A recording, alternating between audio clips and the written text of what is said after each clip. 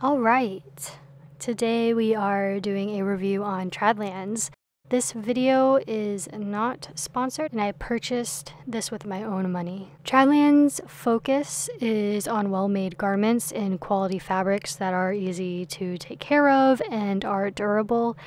They claim their manufacturing process is responsible and the garment workers are paid a living wage in clean environments. There's a couple of items I wanted to try from Tradlands, but my first purchase is the Glenn long short in the emerald colorway. This is actually my first time with Tencel, as in the branded fiber, which is generically called lyocell. They're constructed of a 30% linen and 70% Tencel blend. I really enjoy the way this fabric feels in my hands.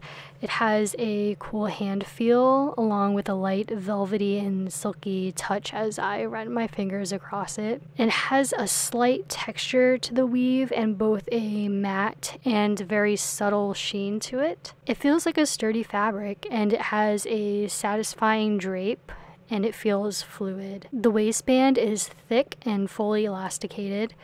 It's stitched in a way that the elastic will not twist on the inside of the band and it's finished nicely. And there is piping that runs down the side of the shorts and around the leg openings and that's finished nicely too. The pockets are finished well and the seams on the inside are finished well also.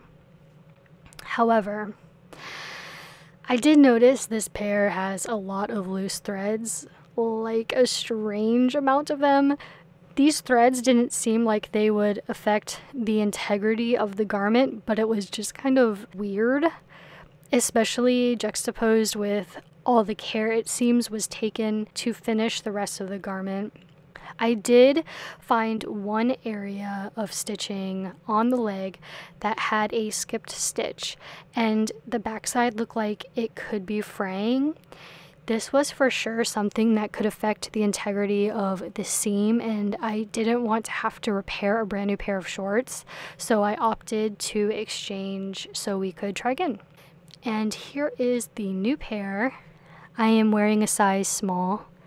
I tried the extra small, but the elastic was just a tad tight for my preference. The fit is very high waisted, which I was hoping for, and even still, there is length in the legs, which I love. The waistband hits around two inches above my belly button. I've already washed this pair. They were easy to wash and they dried quickly.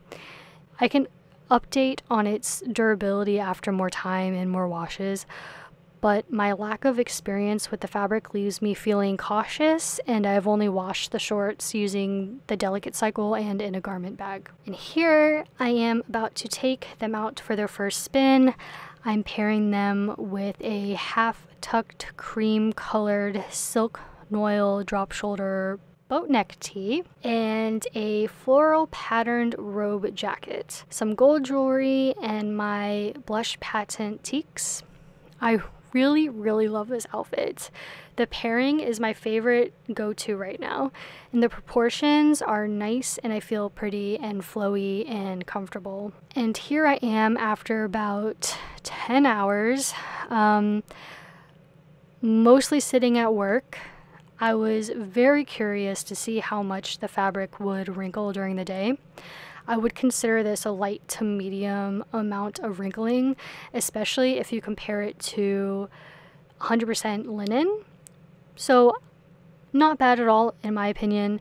This is my favorite linen blend fabric that I have tried so far. So, I was simultaneously impressed and unimpressed with Tradlands. My emotions were bittersweet in the beginning, but after I got the exchange and after the ease of washing, drying, and wearing the shorts, I decided I love these shorts.